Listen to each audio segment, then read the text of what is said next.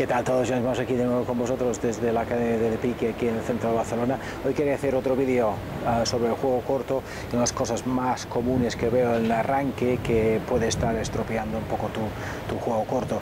Un poco a raíz del último vídeo que hice sobre el, grip,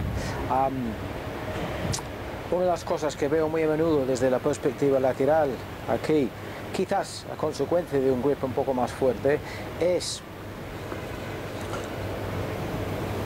un, rápido arqueo de la muñeca izquierda. Es una de las cosas que, quiero intentar evitar en el, arranque del juego corto porque como, como veis aquí, ¿qué pasa?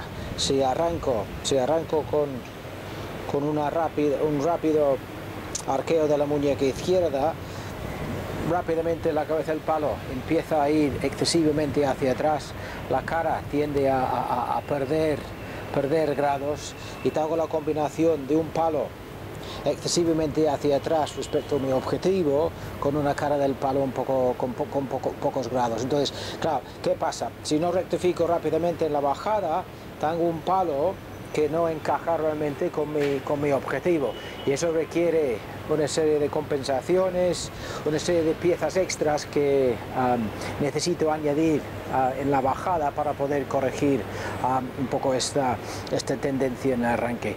A veces cuál es el origen, un poco como dije en el último vídeo, pues un grip un poco fuerte, um, aparte de todo lo que había comentado de la inclinación a la derecha del, del, cuerpo, cabeza a la derecha, etcétera, etcétera, también tiende a, adelantar las manos respecto a la cabeza del palo excesivamente. Y al empezar así, la muñeca izquierda apenas tiene ángulo. ¿vale? La relación entre el torso de la, de, la, de la mano izquierda y el antebrazo es prácticamente, prácticamente recto aquí, entonces es muy fácil así que la muñeca se arquee un poco más y eso es lo que hace que enseguida la cabeza del palo empiece a, a meterse hacia, hacia atrás. Entonces, como comentamos en el último vídeo, vamos a girar las manos un poco más a la izquierda en la empuñadura. Uh, tengo este ángulo, este ángulo entre, entre el dorso de la mano y el antebrazo y voy a intentar conservar ese ángulo más, ¿vale? Veas la diferencia, aquí muñeca arqueada, cabeza del palo rápidamente va hacia atrás, la cara se cierra más.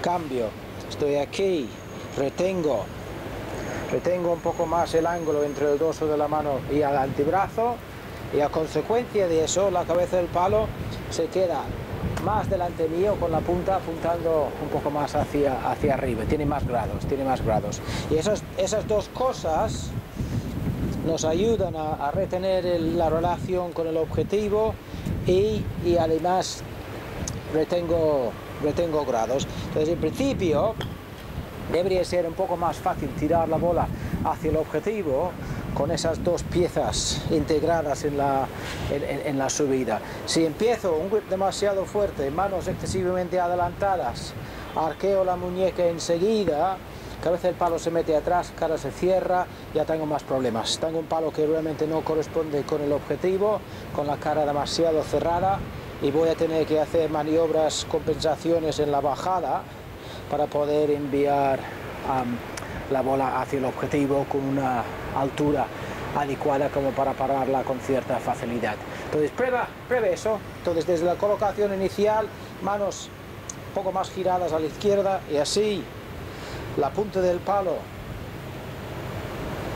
Aquí la punta del palo queda más encima de la bola, ¿vale? No, si tengo un grip más fuerte las manos tienden a ir más a la izquierda, tiendo a arquear más, tiendo a, acabar enviando el palo más demasiado atrás con pocos grados. Cambio un poco el grip, manos más centradas, más fácil que, que la cabeza del palo se mantenga más delante mío con un poco de ángulo aquí. Esas cosas van a facilitar un poco la bajada um, y mejorar tu juego corto. Muy bien, espero que esto ayude y de aquí a poco estaré de vuelta con vosotros. Adiós.